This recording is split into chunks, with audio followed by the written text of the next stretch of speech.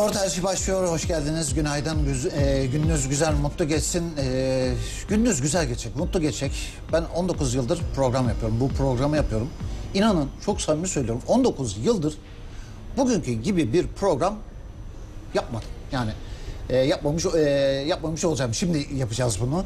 Neden diyeceksiniz? Hani bugün sağımdan mı kalktım? Konuğumuz Noel Baba mıdır? Hani e, sırt çantasında hediyeler var da Türkiye'ye mi dağıtmaya geldi? Ya da e, mazur görün lütfen e, olayın şeyinden dolayı, heyecandan dolayı böyle bir benzetmede de bulunacağım. Konumuz cennetten mi çıktı geldi? E, çok ilginç. Neden ilginç? İzleyince bunu anlayacaksınız. Yani hakikaten olmaz böyle bir şey ama olacak ve bu bizim gençlerimizin işine yarayacak. Onun için çok mutluyum. Ee, şimdi konumuz e, Würzburg Schweinfurt e, Uygulamalı Bilimler Üniversitesi. Almanya'da. E, Würzburg ve e, Schweinfurt e, Almanya'da Bavyera eyaletinin önemli iki şehri diyelim. Würzburg e, 180 bin dolayında nüfusu var. Dünya tarih mirasında. Schweinfurt 60 bin nüfusu var. Şimdi bu Uygulamalı Bilimler Üniversitesi bir devlet üniversitesi. Öncelikle bunu söylemekte yarar var. Devlet yani kamu üniversitesi. Resmi kuruluşu 1971 gibi gözüküyorsa da kuruluşu 1807'ye dayanıyor. Hani üniversite reformu bizdeki gibi Ondan dolayı 1971 olarak geçiyor. Ee, Almanya'nın en önemli e, eyaleti Bavyera eyaleti, en büyük e- eyaleti ama merkezi bir yer. O kadar merkezi bir yerde ki üniversite e, Nürnberg'e bir saat mesafe, Münih'e iki saat mesafe, Frankfurt'a bir saatlik mesafe gibi. Ee, üniversitede 10 bin dolayında öğrenci var ve şu anda Türk öğrenci sayısı çok az ama Türk öğrenci sayısı çok artacak. Ee, üniversitenin 500 dolayında öğretim üyesi var ancak çok önemli bir nüans daha var burada. 220 tanesi neredeyse yarısı profesör. Yani Almanya'da bu tek. Ee, Almanca ve İngilizce öğretim yapıyor. Bu da ilk Almanya'da bir ilk. Ee, sonraki diğer üniversitelerde bu şeye geçiyor. Ee, üniversitenin e, belki reytingini e, soracaksınız. Almanya'da kaçıncı diye. Almanya'da e, üniversite 6. sırada bulunuyor. Dünyada da ilk 500 arasında yer alıyor. Ee, Türkiye'den öğrenci az dedik. Ee, şimdi değerli konuğumuz e, üniversitenin kısaltılmış ismi FHVS. Ee, değerli konuğumuz Türkiye temsilcisi üniversitenin Şenol Arslan. Hoş geldiniz. Merhabalar Sadık Hocam. Şeref Teşekkür ederim. Şimdi bu girişte herhangi bir eksim veya yanlışım Hayır her var şeyi çok güzel Her şey anlattınız. gayet güzel. Çok Şimdi güzel. daha da güzellikler başlayacak. Önce isterseniz en önemli noktadan başlayalım. Ee, dedim ki hani Noel Baba mıdır dedim. Bunu şunun için söyledim. Şimdi Almanya'da, yurt dışında veya hani Amerika'da, İngiltere'de e, okumaya gittiğin zaman bir e, külliyet vardır, maliyet vardır. Buradaki maliyet ne kadar? Bakın Almanya'daki eğitime verilen e, önem dolayı Bavarya eyaleti bütün üniversite harçlarını kendisi üstlenmiştir. Biz tek bir idari e, sizden bir idari para istiyoruz. Bu da 42 euro dönem başıdır. Dönem başı. Yedi- İki dönemde 84. Evet 7 dönemlik bir bachelor'dan bahsediyoruz. 280 euro ile lisansınızı alıyorsunuz. Yani Çift üç buçuk yıl mı sürecek? Aynen. Bizdeki lisans dört, 4 sene, o buçuk, üç buçuk yıl yılda olarak. hem iki dilli lisans almış. Almanca ve İngilizce. Aynen. Ve e, bütün masraf ne kadar dediniz? 288 euro. 288 Evet. euro. Verdiğiniz üniversiteye idari. Peki başka akademik olarak bizim çocuklarımızın yani bizim sizin demeyelim de burada Tabii. gençlerimizin vereceği başka akademik ücret yok mu? Yani Yoktur. böyle 10 bin lira, 30 bin Hiçbir lira, şekilde. el- 50 bin lira. Hiçbir Şey- şekilde yoktur. Bütün hepsine Hepsini devlet karşılıyor. Alman, devleti. devleti, Bavyera eyaleti. Evet. Bu da Bu, bu derece önemli yani eğitim. aynen. Bu derece. Aynen. Bunlar nereden doğdu diye sorarsanız demokratik değişiklimden Almanya'nın gittikçe ihtiyarlaşmasından, genç nüfusun azalmasından ve kalifiye elemanın eksikliğini gidermek için yapılan programlardır. Ve bu fırsatlar eskiden yoktu. Geniş bir fırsat tanıyoruz şu an gençlerimize. Geniş bir fırsat ama bu sadece sizin üniversite ve eyalete mi ait yoksa diğerlerinde de var mı? Çünkü ben ilk defa böyle bir şey Em, duydum. Yani Çoğu eyalette artık harçlar kalkmıştır. Bavarya'da tamamen kalktı. tamamen kalktı. Evet. Yani hayret. Hani bir kelime vardı çok uygun olmayacak ama vay be. Hakikaten vay be. Düşünsenize yani e, 84 avroya, euroya bir yıl Almanya'da İngilizce veya Almanca. Belki ikisi de bir arada. Aynen. Değil mi? Aynen. Ve istediğiniz dalda ama istediğin biraz sonra bölümler de söyleyeceğiz. Tıp yok galiba. Tıp Değil ve mi? hukuk haricinde Hukuk uygulamalı bilimlerinde her şey. sosyoloji dahil değil mi? Tabii. Ondan sonra diğer mimarlık dahil, mühendislikler dahil. Zaten e, menşei Almanya mühendislikten. Hani okumak için e, oraya zaten gidilir. Ondan sonra bütün bunlar. Peki bizim Türk öğrencilerimizin, velilerimizin, hepimizin yetişmemizden kaynaklanan şöyle bir takıntımız vardır. Ya üniversite mi? Sadık Hoca der, e, dedi ki uygulamalı bilimler üniversitesi. Şimdi burası üniversite midir, değil midir? Hangisi iyidir, hangisi kötüdür? Var mı böyle bir şey? Ee, bakın Almanya'daki yüksek öğrenim kurumları üçe ayrılır. Bir klasik üniversiteler, ikincisi uygulamalı bilimler üniversiteler ve üçüncüsü de College of Arts dediğimiz üniversite Güzel şeklidir. sanatlar Güzel dediğimiz. sanatlar oluyor Türkiye'de ve üçünün verdiği 1999 Bologna sürecinden beri lisanstır, bachelor'dır. Üçü de aynı diplomayı veriyorlar. Aradaki fark üniversiteler daha çok teoriye bağlıdır.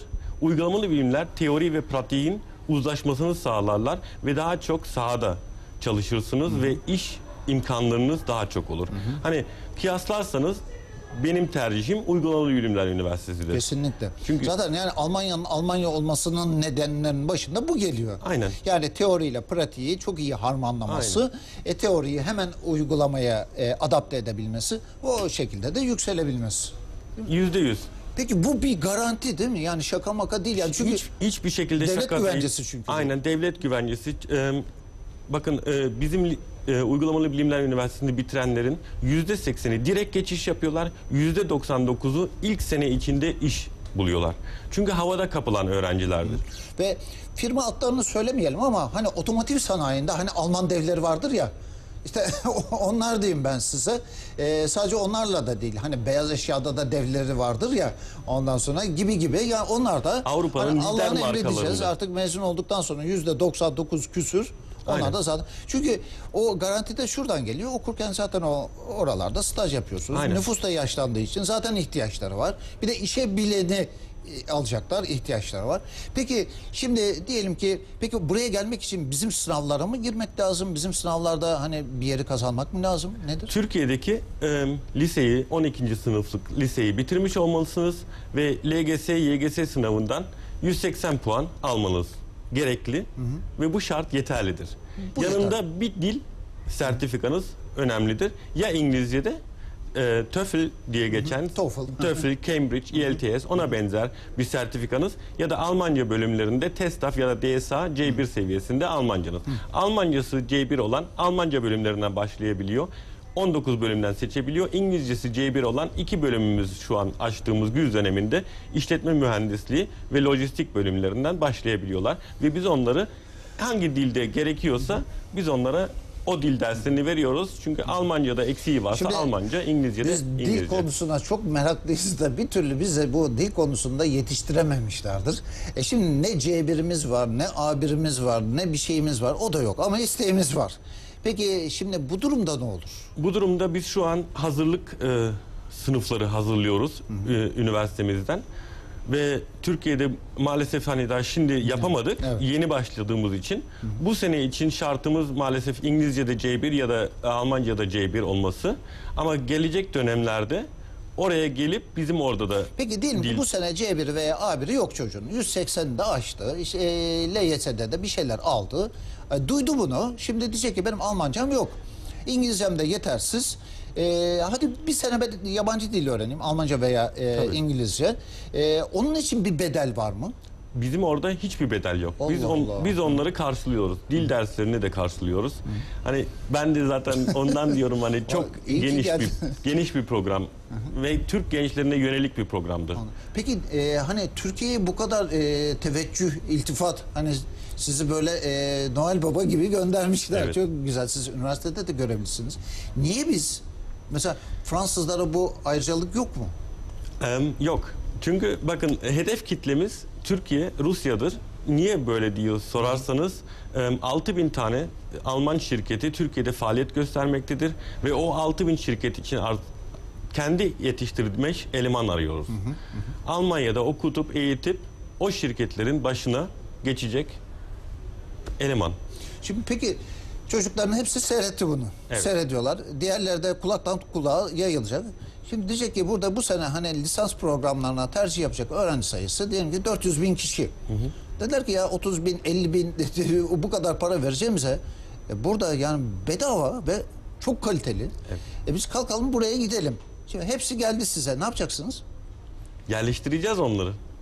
Almanya'nın esasen e, biz güz döneminde 100 kişiyle başlamak istiyoruz. Ama hedefimiz 6 senede bu sayıyı 3000 öğrenciye e, getirmek. Ve internasyonel bir kampus açtık. 9000 öğrencimizin yanında zaten fakültemizin geniş alanı vardır. Ama bir de Amerikan askerleri gittikten sonra bize şehirler o alanı da verdiler. O alanda o çocukları yetiştireceğiz. Bu sene kaç öğrenci alacak? 100 dön, 100. Sadece 100. 100. Peki diyelim ki 3000 başvuru oldu. Nasıl elleyeceksiniz onları?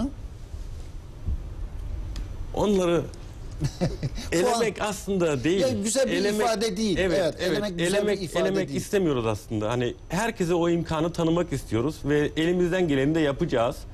Ne kadar başvuru olursa onları oraya yerleştirmeye çalışacağız. E burada tabii ki sadece üniversite olarak değil, devlet olarak da, Aynen, eyalet aynen, olarak da e, aynen. bunu üstlenecekler.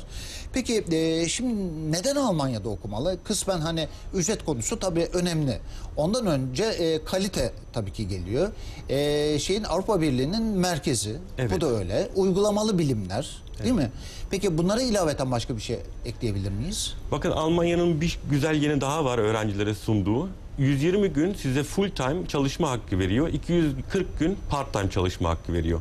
Ve bu, üniversitelerde okuyan öğrenciler ortalama 70 ile 100 euro arasında para kazanıyorlar. Bunu 100 günle çarparsanız 7000 ya da 7800 euroya kadar para kazanıyorlar. Hani bütün Almanya'daki yiyecek, içecek, konaklama masrafları öğrencilerin maksimum 7 bin, 8 bin eurodur. Bunları kendi çabalarınla bile karşılayabilecek Evet, güçteler. yıllık masrafı kendi Aynen. çalışma şeyini. Aynen. Peki üniversite bittikten sonra diyelim ki bir şirketle anlaştı. Orada o zaman çalışma iznini de alabiliyor mu? Yoksa o bu olayın çok farklı bir olay. Hayır bu, bu da çok güzel bir şey. 2005 yılından beri Almanya'daki YÖK kanunları, e, oturma kanunları değişti. Herkese ikamet ve oturma hakkı tanıyor.